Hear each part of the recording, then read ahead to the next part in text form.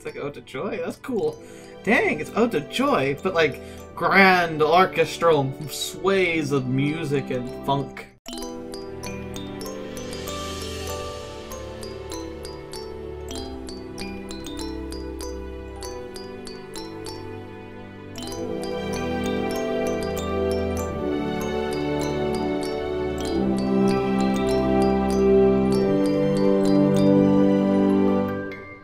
How's it going, guys? And welcome to Pal. I want to make sure. Oh, I'm gonna try to say it right. Pal Palinurus. Palinurus, I'm guessing. Um, now this is gonna be an interesting one. Uh, I'm doing a quick experiment. I've been a little. I don't know. I've been wanting to reach it a little bit more, make more content, and my Fridays have been kind of a grab bag of like, oh, something fun I want to do. But I feel like I don't really have enough randomness to really fill all my weekends, and you've kind of seen that in the past couple months. It's just there's only so much I can really do without feeling like I'm stretching for like content, and that doesn't feel right. I want to be making content I really enjoy and I really think you'll enjoy. So, uh, this will be a quick experiment to see if I can handle doing three visual novels a week. You know, one for Monday, Wednesday, Friday, with uh, letters from the Cosmere, or maybe an odd you know, quiz or something fun I want to do that's on the side. Maybe coming out on a Saturday, or just whenever I feel like it's ready to be published. Um, just because I feel like I have the time and I want to make sure I, I make enough content. But we'll see. We'll, we'll see if this will happen. It's got to really work with my family schedule too. So if this doesn't work out, that's why I'm starting with something smaller. But this is Palinurus. Now, this was written for a 2015 NaNoWriMo, which is a challenge that people can set to write a 50,000 word uh, book or story in the month of November, just to, to push people to achieve goals in writing, because that's the hardest part of writing, is actually sitting down and making sure you finish a project. Uh, so this apparently was put together, and then the people enjoyed it enough that they got a team of volunteers from around the around the globe, and they all kind of worked together to, to make this. And this is actually a redo of the original version that I guess was just very basic. Um, they put new sprites. It's more kinetic now. Um, it's got some nice music, which you may have heard at the beginning. That was a little doing some jigs too. Oh, to joyous. Um, but and on, and the main story here is going to be it's a it's a guy traveling on a starship with an AI that's built into the computer to help make the travel to Alpha Centauri more bearable. But something something happens, and uh, they're gonna have to deal with some of the stresses of the strip. And apparently, we get to learn about uh, the characters. So this isn't gonna be a choice one, and it's gonna be pretty short as far as I, I understand. But apparently, it's pretty good. And I, when I was doing my research and looking for visual novels and trying to keep an eye out for something I think will will will enjoy, this caught my eye, and I was like, okay, we got to do it. And it's free to play on Steam. So if you like what you see uh, at the beginning, you can just hop onto Steam, download it, watch it, and play it yourself, and then you can come back and watch me react to it, and kind of see what what I pull from the story. I mean, I love it when we can do stuff like that. Um, and also just keep an eye on the, on the group because I guess the people who enjoy this so much they're actually going to start trying to make other games in the future. So I think they're called Watercress, so keep an eye out for them. Anyway, I digress. And Watercress, if you're listening to this, by the way, I look forward to playing your game, and hopefully you enjoy uh, my interpretation and my uh, rundown to the game. I love being able to find people who are starting out new projects. I mean, Ace Academy is a great example of one that is right out of the gate, amazing game, and it's the first one of the of that company's too. So, let's get started with this one. Let's see. Palinurus. Okay, there's the stuff over the side. Okay. Oh, the story of the ocean of stars. Oh, beautiful. Joy, beautiful sparkling of the gods. Daughter of Elysium. Elysium, that's a common sci fi term. They use that a lot. Okay. Maribel Station spiraled ceaselessly in an otherwise unremarkable corner of deep space. There's nothing unremarkable about space unless you get to live there, I'm sure. It's like, oh look, more stars. Just the best views you could ever imagine. I want to be in space so bad. I was waiting for my flight number to be called. I tapped a finger against my knee, eager to be on my way. I'd rehearsed this ritual countless times before. Maribel Station was hardly remarkable, as far as space stations went, though then again, who was to say that there were many true, truly remarkable space stations in the first place? Me? I'd love to go. Surely there were hundreds of millions of travelers passing in droves through the Andromeda Central Station. Dang. Andromeda was the work of art, and performers, painters, composers would all gather in the artificially terraformed Central Plaza to find an audience. It was a mosaic of colors, sights, sounds, a brazen horde of the intergalactic human culture, like a Venice atop the sea of stars. Wow, very colorful, beautiful language being used here. And I was stuck here in the gray, factory-produced pit stop, waiting for my lonesome, uh, waiting by my lonesome for my flight's preparations to finish up. Okay, maybe that would be kind of dull. For as long as I could remember, space travel out in the boonies, uh, out in the boonies was like this: lonely, tedious, cramped, time-consuming, stripped to the status of a commute that would never seem to end. So it's kind of like intergalactic truck travel. Space travel as an enterprise was far too expensive, far too dangerous for allowing anything short of a mega corporation to handle the logistics. I glanced at my ticket. Sure enough, there it was. Titan Transportation Solutions in loud, bold, bleak font. It was one of the bigger it was one of the bigger players in the field, and they were the ones that footed the bill for, I don't know, thousands of space stations just like this one. Man, the money they must be wielding, good grief. And let's be perfectly clear here. Space is big enormous. Try to wrap your head around how infinitely spread out, how empty it all really is. You can't. Like, for instance, light, I believe, takes, what is it, over 500,000, like, years to travel from one end of the, is that, is that even right? No, it's gotta be millions, like 500 million years to travel across just our galaxy. And our galaxy is not even, like, observable from some of the even some similar closer points of like our galactic cluster. Like if you were to pull back out there, theoretically, we wouldn't be almost invisible because our galaxy is dimmer than a lot of other ones. It's just absolutely mind-boggling how big it is. To get anywhere of consequence in space, one must leapfrog through dozens upon dozens of space stations like these, scattered throughout the galaxy. I had been doing precisely that for the better part of Old Earth Month. So rest assured, I was well rehearsed. I knew my lines, I could nail down the song and dance in my sleep. And the day space gets monotonous will be a sad day. I was, at any rate, getting restless. There isn't a lot to see in space, just tons of tiny, identical white dots, and plenty of tiny gray checkpoints to pass through. But that was the price you had to pay to get anywhere. And sometimes, if you were lucky, you'd get the occasional nebula, or debris cloud, or band of pirates. Oh yeah, that would be exciting. Yo ho ho, please don't eject me out the airlock. I focused my attention on the silver spaceship which lay before me.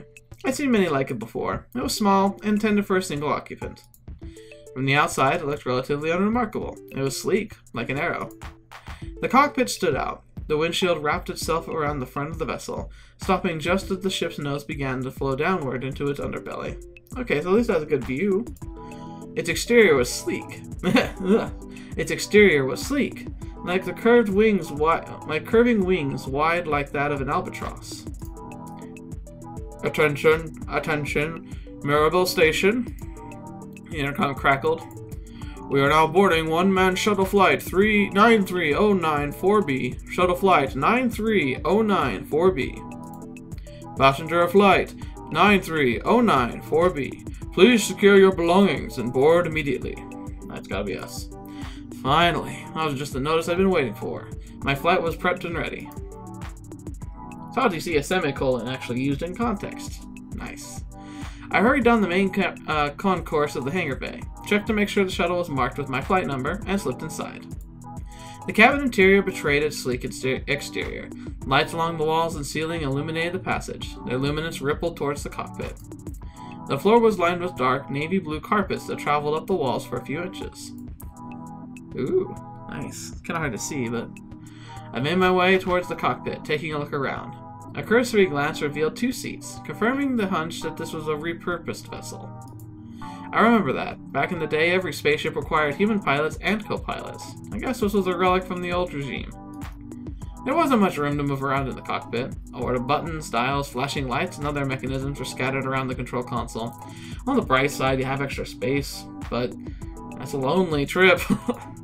The cockpit was do dominated by an enormous windshield that opened up to the command, uh, opened up to a com commanding view of, well, at the moment, precisely nothing. Nothing but space and an ocean of stars. It was hard to get excited from such a sight anymore. Oh, how jaded. Within moments, the cockpit was bathed in warm blue light, and the computerized voice began to speak. New passenger detected. Initiating uh, resignation sequence. Ugh, slaughtered that one. I held up my ticket between two fingers, just to make sure the system registered it. The blue light shifted around a small area and then dissipated su- suddenly. Passenger identification ticket code number 099243. Transit authorized. Spooling intelligent navigational kernel. Analyzing an anima complex, unlocking communication synthesis codex. That's a lot of technical sci fi babble. Quantum processors are online. Database re- uh, registries uh, database registries are online. Analytical engines are online. Actualization key is online. Registration hex sequence and iconic bulkheads. Checking firmware for updates. One, two. Firmware is currently up to date. It's like starting on uh, like a PC. Like all the checkpoints you got to go through. Checking saint, uh, checking sentience limitation codex one, two. Unit awakening authorized. Intelligence Navigator Persona unlocked. Navigator 21109CBP. Copyright Inclassidated Intergalactic Transportation, year 2520. Unit name Intelligent Navigator Budapest. Okay. So I think that's uh that's the AI we'll be working with. Then suddenly the voice became softer, more polite, more feminine. Initializing. One moment, please. Slowly it became more and more human. How do you say that? I heard something click above my head and glanced up to notice a small metal compartment extruding a, a, multitude of lenses, like the most intensive camera in the cosmos. So that's where it was. Inside it, some mechanisms whirled to life, and the lenses began to twist, oscillating to extend. They focused on a single point, the pilot seat to the left. Aww, she's cute. Slowly, a human figure co coalesced. Its form was translucent, accompanied by a dress of white as ivory. For a second, it seemed that she had caught fire, as brilliant red hair flowed from her head down to the back of her shoulders. Delicate, feminine features emerged as one ears, a nose, the eyes, and a mouth curled into a polite, natural, neutral grin. The two long, slender arms trailed into two smaller and slender hands, clasping each other in front of a flowing dress. The projection's eyes opened, revealing irises of striking sapphire. They looked like planets, glowing against the backdrop of deep space. Well, when you can design, it's like anime. It's like when you can design how someone looks, of course you can make them absolutely gorgeous. It took all the appearance of a woman, but I recognized the emulation at work. This would be the personal navigator assigned to the shuttle, an artificial intelligence designed to serve humanity. Greetings, passenger sir. Are you doing well today? Uh, yeah, yes. I'm doing fine, thank you. I took a second to ease into my seat, cycling over all the belts and harnesses which draped my hard suit. Time to head out again, I suppose. Space travel certainly doesn't get exhausting after a while. But, oh well, at least the navigator seems nice this time. AIs had become a fixture of space travel by this point. Before, you needed two pilots and at least two to operate a vessel like this. Two pilots at least operate a vessel like this. The programs didn't need food or water. They certainly didn't ask for rumination. It was a convenient, cost-cutting measure of the megacorps, and the switch was welcomed by customers with open arms. I am glad that you are feeling well. I am the Intelligence Navigator Budapest, and I will be accompanying you on this voyage. Now, let's take a look at your registration. The navigator turned his back to me, bringing up an electrical eh, and electronic windows of records and data like it was conjuring magic barriers. It was like people love AI for stuff like this. That's cool. Like all sci-fi and like look like a Iron Man's house. They bought all the they brought all the efficiency of a personal planner, calculator, and computer, all stuffed into a pretty-looking package with flair and style. By all the sketches of the imagination, they were wonderful workers. They worked tirelessly, they were quick thinkers, and you could customize anything about them to meet your own needs. It seemed this navigator was left with its default settings, though, just as well. I didn't plan to see much of it from the cabin. The pilot seat had been retooled to fit this holographic generator, so it wasn't much use here anyway. Departing from Maribel Station at 40400 Imperial Standard Time. Imperial. Hmm. Destination? Galactic Grand Central Station in the Alpha Centauri system. Hmm, this is going to be quite a lengthy journey, isn't it? Not to worry, passenger sir. You have my word. I'll get you to the Grand Central safe and sound. Uh, don't say it like that. Some people end up getting too attached to their AIs. Personally, I tend to keep my distance. At the end of the day, they were basically programs, lines of code assembled to execute tasks behind artificial visages of a living person. Okay, hang on though. If it's true AI, like our definition of true AI, like a program that can grow and develop and adapt its own programming, like effectively evolving, that really is constituting life, in my opinion. I don't know. It's hard. It's hard to really pin down like where does life actually start at that point. But I, I essentially think that like the instant they have that ability, especially if they can react with um, awe, wonder, questions, anger, sad, depression. Like when they can start having those emotions or start doing things that aren't in their base programming, like they keep adding things to their own programming, we need to be really careful how we treat them. Because there really isn't much of a difference. I mean, we're electrical signals working around in a biological computer. An AI would be replicating that exact same thing that makes us us. But I digress. Whatever niceties they uttered, whatever niceties they uttered, came from the mouth of some programmer or some psychologist in a clinic, or at least from a dialogue construction engine designed by such. Content to confirm my presence and leaving the pilot to the navigator, I nod in affirmation. We'll be launching from the station now. Please remain seated and harnessed until the in instructed otherwise. Roger that. Loud and clear. I took a few paces to my seat in the cabin, not too far from the personal navigator stationed in the cockpit. I lowered myself into the chair. It was surprisingly plushy. Aw, that'd be nice. I'd be like, oh, thank goodness, I won't have to rest my rump on this one. As usual, I threaded my arms through the safety harness and then clicked the connectors together. Leaning back, I turned my head to look out the window to my right. I heard an electrical sputtering and whirring from the shuttle disengaging from the hangar restraints. My stomach twisted with anticipation, and suddenly, the shuttle lurches forward. After a few moments of throttle, we reach open space and cruise our way out of the station. And it appears we are off. Currently at cruising speed of 40,000 kilometers per hour. Pilot navigational route now. Calculating estimated arrival time. Mm. So, passenger, sir, do you travel often? Yes, very. But never with a navigator as amiable as yours truly, I assume. Aw, that's cute. I laugh. that's pretty clever. For a navigator, you come up with that or your programmers? That line's one of my own, thank you very much. One of your own? Which you thought of using your processors to, comp to uh, which you thought up using the processors your company built for you? Hmm. Teasing your navigators against regulations, you know? Ought to have you reported. Oh dear, I do apologize.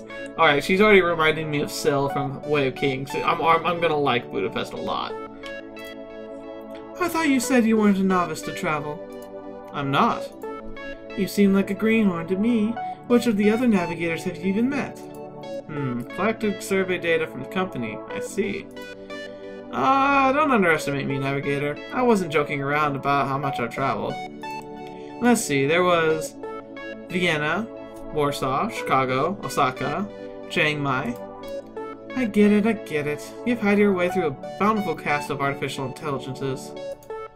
You make it sound so incident. Uh, you make it sound so indecent when you put it like that. Oh, is that so, passenger sir? Interesting. I give a small, polite chuckle out of respect, though it's not as if I was particularly obligated to show such social uh, courtesy to a machine. It was just a peculiar personal habit of mine, which I'd obtained from spending so much time in transit. I mean, you got nothing better to do. If you don't mind me asking. Hmm? What'll you be doing once we arrive in Alpha Centauri? It better be something worthwhile, after such a long trip. Is this how you screen for potential troublemakers? I wasn't planning anything shady now. The navigator lets out a short, pre-programmed giggle. Goodness, no. Just curious is all. I ask the same questions of all my passengers. Just curious? The navigator is just curious? Something of a tradition I have. Hmm? A tradition it has. No kidding. I shrug. Sightseeing, mostly. Maybe I'll try my luck down at ACB too. Ah, the planet? It must be unbearably hot at this point of its orbit. Oh, it's unbearably hot all the time. It's like walking to the core of a smelting plant. True, true. Any business down there? Man, that's this is crazy conversation. Uh, corporate espionage, is it now? No, sir. I assure you, none of these questions were pre-programmed. I'm going to be piloting shuttles for my time eternal. If you haven't noticed, you could afford me a little courtesy about my passengers. Ugh. It's mostly morbid curiosity, maybe, that's pulling me down there. Maybe I'll scoop out some mining prospects in the area. They say they found platinum down there. I could use it, afford a square meal. More likely, I'll end up digging some nickel and iron, but that'd be fine with me. Shoot for the moon, and you land amongst the stars, or something like that. All that for a meal? Pardon me for saying so, passenger sir, but that sounds a little reckless. Might be. Me, I'm not bothered by it. It's hard to scrape up credits in this economy. Besides, it's bound to be pretty view. And who knows, maybe some other lunatics had the same idea I did. Sounds like a wonderful adventure. You're quite the character, sir. I'll be roosting I'll be rooting for you to hit it big. Thank you kindly for the well wishes. She's so nice, she's so sweet. Coming from Minei, I didn't think much of it, but it was nice to hear aloud all the same. You're quite welcome. Now, we'll be serving our complimentary drink and beverages momentarily. Oh, that's great. I had to skip breakfast. The navigator smiled. After the meal, I went ahead. After the meal, I went ahead and took a short nap. Snuggled into the ca cabin chair, I slept lightly, but well, I didn't dream of anything, but I didn't want to either. After some time of sleep, however, I was awakened with a start. Sir! Passenger, sir, please come to the cockpit. I bolt upright, startled. Something must have gone wrong. Something seems to have uh, gone wrong. Uh, that took my cue and rush over. Uh-oh. As I strap into the cockpit, warning lights and alerts begin to blare, bathing the cockpit in a frantic kaleidoscope of colors. So, uh, so helpful. Like, yes, I understand there's a crisis going on, but why do you have to make it so hard for me to see what's happening? The navigator is set to work. Uh-oh. Oh. How interesting. What, what is it? Did something happen? Hmm. Not to cause you any alarm, passenger sir, but there's been an incident. Oh, great. That's a, those are great words, Houston. We have a problem. The shuttle short-range radar has detected an incoming debris storm. That doesn't sound good. Actually, in fact, that's a very bad thing, isn't it? Well, I wouldn't say very bad, but you might want to. Now, like I said, there's no cause for alarm or anything. Of course not. But you might want to brace for impact. Oh, oh, oh dear. A, a, a, debris storm? Oh, fetch. I hurry back to my seat in the cabin and look out the window, squinting my eyes. I see through the blackness of space. I can make out a few sparkling lights. Reflections? Yeah, reflections. The ship itself had bright, powerful lights attached to its wings, tail, and under the cockpit, and every time they flashed, I got a peek of some sort of approaching mass. Oh boy. Meteoroids. Hundreds, maybe thousands of meteoroids drifting aimlessly through space, clustered together in a school. It'd be a rare, but definitely... Well, rare is it because it's so vast, but I mean, stuff like this has got to be out there. A relentless, soaring landslide of steel on a direct collision course with the shuttle. Oh boy. My heart sank deep down in my stomach. Actually, no. It went past that. Plummeted straight down to my bowels. No cars for alarm, alright? I've, I've got it under control. No cars for alarm. No cause for alarm. If we just keep saying it, we'll believe it, right? I repeated those words to myself, more incredulously each time. No cause for alarm, no cause for alarm, no cause for alarm, no cause for alarm. I took a deep breath, steeling myself for what I feared was coming. Still as a statue, I close my eyes, content not to watch it go down. I'm the opposite. Like, anytime unpleasant things happening, like an IV in the arm, a shot from a doctor, you know, anything, I have to watch. Oh, that's not good. Tap, tap, tap, tap. No, no, no, no. I don't want to quit. I accidentally hit the X button. I could hear the sound of particles impacting the hull, the constant whine of ringing metal. They started sparse, spread out. Tap, tap, tap, tap, tap, tap, tap, tap. Only a few minutes ago, the cabin had been eerily silent, and now a constant stream of sound filled it, like we'd flown into the midst of a typhoon.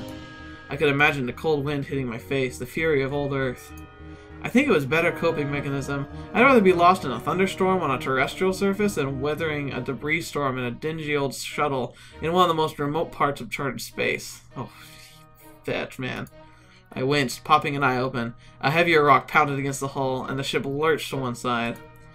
It didn't seem like we'd sustained any serious damage yet, so I sat there, clenching my legs, wringing my hands in desperation, hoping the storm would soon pass. Oh, wham! Wham! Like, fists driven by fury and rage, the meteoroids continued to pan against the shuttle. With each impact, the rock dug into the hole, denting it and pushing against the cabin walls. The floor pressed against my legs, and large divots was suddenly formed. Ah, was too close for comfort. Oh, this is like a this is a nightmare. This is the absolute worst thing that could happen. Another larger meteorite ricocheted off the window I was seated next to. I flinched and writhed in my seat. Look, I've been through worse than this before, alright? Way, way worse than this. I'm a veteran of this trade, an unsung hero of the artificial intelligence community, you know? This is nothing that I can't handle, so... Uh... Oh. That's bad. They came into sight. I saw enormous meteoroids, the heavy hitters of the storm, hurling themselves directly in our path. Even the awe-inspiring holy light of the distant stars cowered in the shadows of these meteoroids. It was on. I, one was on a due course for the cabin. It was a monstrous gray, jagged mass that glins, glistened devilishly, its iron deposits reflecting the flashing emergency lights of our ship. It was going to impact, and it was going to impact very soon. I swallowed hard, lowered my hands into my harness. My hands shook thunderously. I couldn't get the switches and belts. Come on, barrel roll! Do something! Can't we navigate a little bit? I tugged at the straps, but they only seemed to be tight to tighten. Come on, come on, gosh darn it! Before all the strength had been drained from my arms, the belts miraculously disengaged. Passenger, sir, you need to get into the cockpit. It's the most isolated part of the ship, and we can seal it if the worst comes to worst. Oh, oh dear. You need to get here now! I exhaled deeply and darted towards the cockpit. Crash! Shrapnel and sparks flew everywhere, lighting up the world in a blaze of yellow and orange. The entire cabin swayed and shook as the horrendous sound of metal sheets rending apart filled my ears. I slammed into the cockpit door, opening it and letting myself through, then kicking it shut. Scrambling over to the console, I seal the cockpit door and engage all the airlocks. My breathing was frantic, my vision blurred. I was in a panic when I saw a pale figure of the navigator scrolling through monitors and screens and spreadsheets. It comforted me, at least a little bit. That one was especially bad. Damage report. The hull's been breached. You're lucky you got out of there in time, sir. It took some time to settle in, trying to find my footing in the cockpit and shuttle rumbling in the midst of the storm. I paused. Felt an odd sensation when my hands were resting on the windscreen. I drift my drifted my eyes down to take a look. A hairline fracture along the window pane. My finger ran along the thin, narrow line formed in the ultra-hardened glass. The splintered patterns it formed were remarkable, but I was paralyzed with terror. Suddenly, another lurch forms, another large collision. Ah, dang it! Please, sir, take the cockpit seat and strap in. It's dangerous to remain standing at this time. Repetitive, re receptive to the machine's goading, I staggered to my feet, watching my footing and the lopsided cockpit. Eventually, I sank into the plushy co-pilot's seat and the navigator's right. I glanced over to her. Hey, navigator. Quick question. How in the heck did you not notice a massive meteorite right for us? They didn't show up in the short-range radar. Their iron compound deposits absorbed the signals. It's what I'm thinking. The storm came in too fast to be traced. I paused. So there was nothing that we could have done about it? The storm had just been drifting through space and just had decided to ravage us into its wake? What the heck kind of freak accident? Are you alright, passenger sir? Are you hurt? That was a nasty beating you took. The program looked so concerned, so concerned for me. Still rubbing my forehead, I, wa I waved his concerns off, groaning to myself. Yeah, I had to be fine. Nothing I can't handle. What are we going to do now? Well, our vessel sustained critical damage. We've been knocked considerably off course. Both the navigational and communication systems are completely offline, and I haven't been able to find a way to repair them. But for now, we need to do something about the damage. Right now, the rest of the ship is nothing but sheared, hulking mass. Aid Aiding unnecessary weight. Adding unnecessary weight. Preparations for jettisoning the cockpit are underway. We should be far removed from the storm in due time. Understood.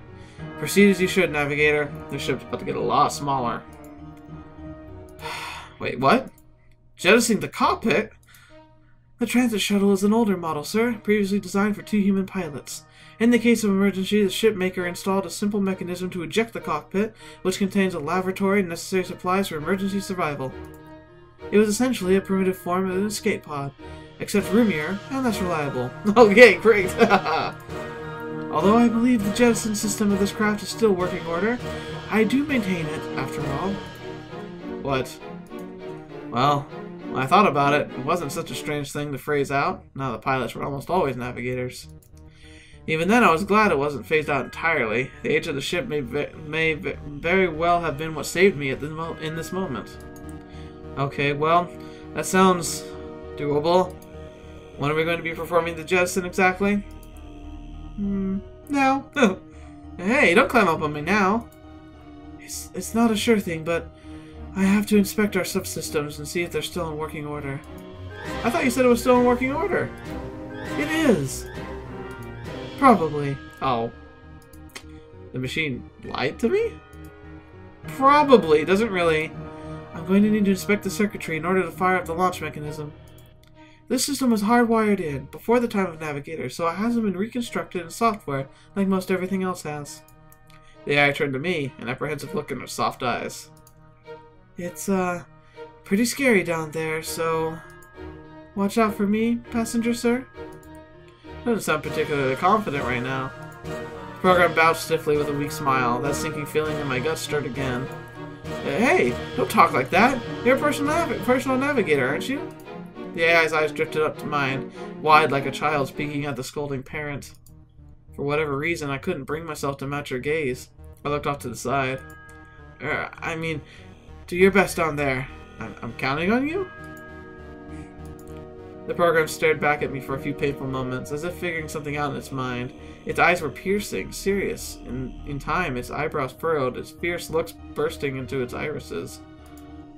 Understood. I'm going in. Make sure your harness is correctly secured, and I'll be back soon. I nodded. Click. That was the fastest I'd ever fastened my seatbelt straps. As the AI's holographic display switched off in a flash of white light, its camera retracted back into the inner workings of the console. In that moment, I was left to my own devices in the face of death. The cockpit was a closed room, a frame of steel and duraglass, the only thing separating the pilots from the harsh, hellish vacuum of space.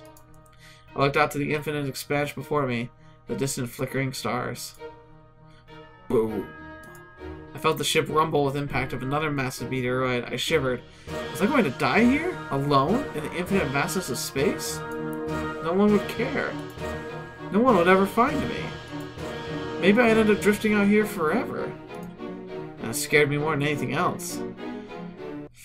Heck yeah.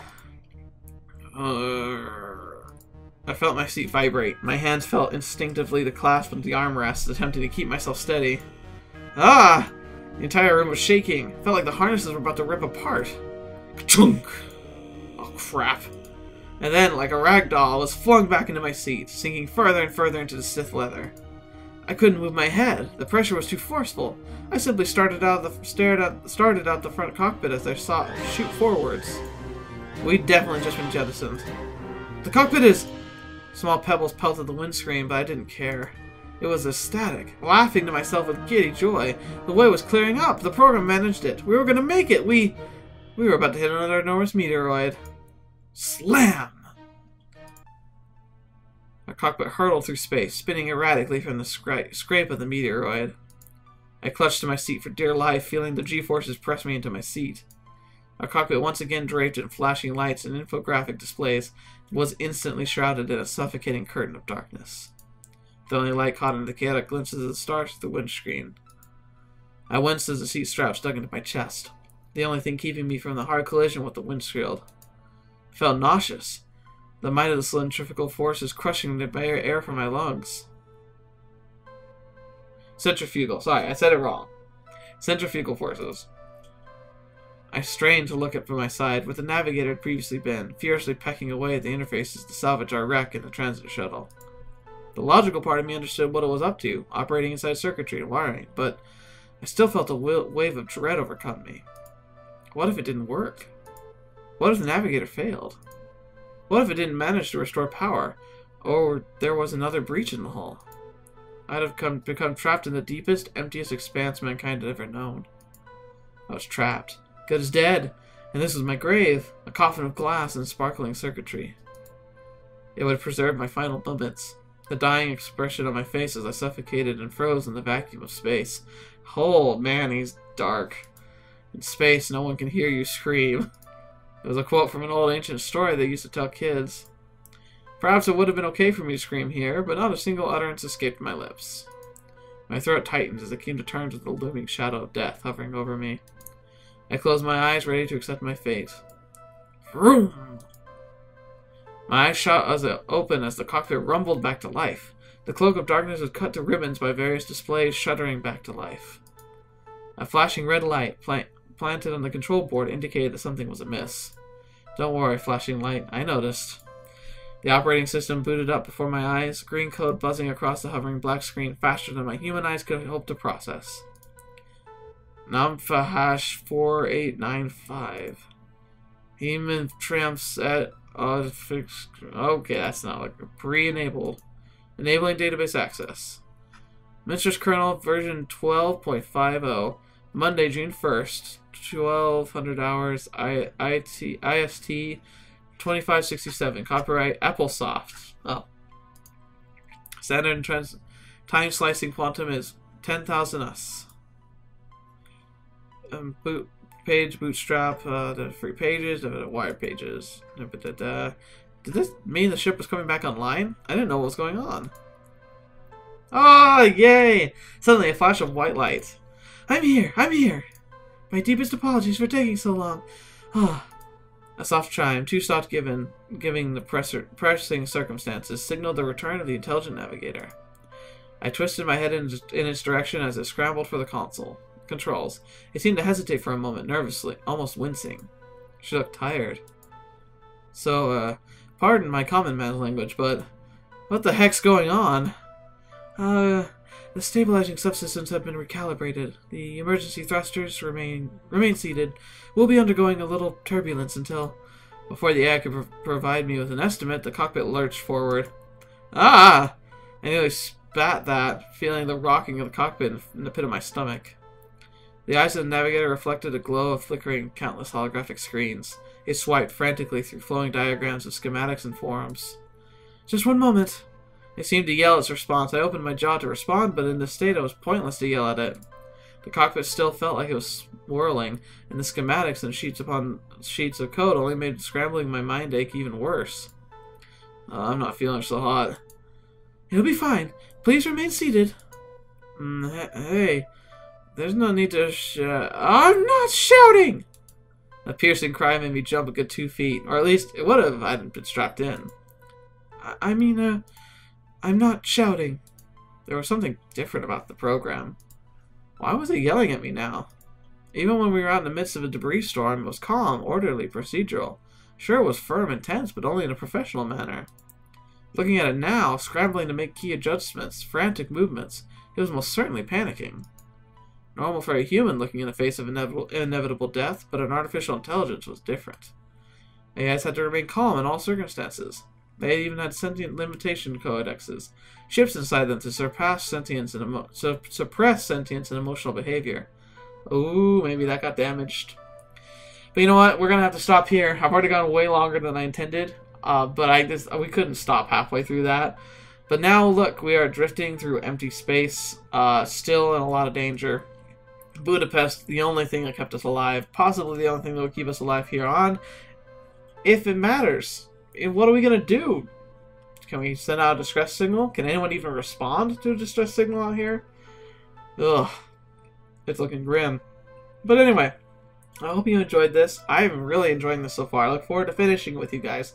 So please let me know what your thoughts are in the comments. Once again, this should be fairly short, and we'll see at the end if anything comes of this. But until then, have a happy holidays, because, you know, Christmas is around the corner from the time of this video, and if you're watching this in the future, um, happy day, I don't know.